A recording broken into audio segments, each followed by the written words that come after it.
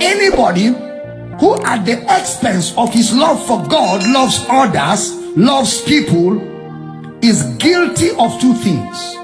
Number one, he is in idolatry.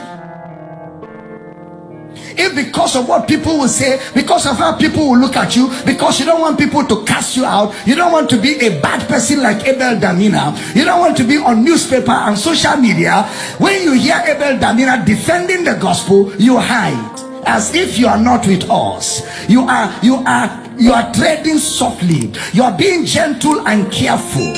You are in idolatry. You are an idol worshiper. You are in idolatry. You are a confirmed idol worshiper.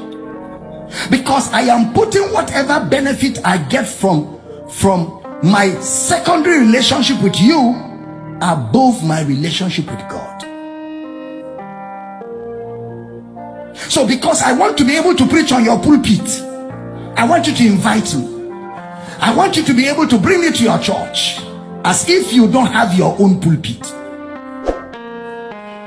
So because you want honorarium, so now you are willing to get into idolatry.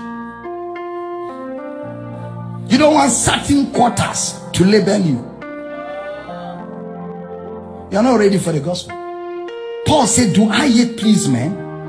If I please men, I shall not be a servant of God. Am I pleasing men?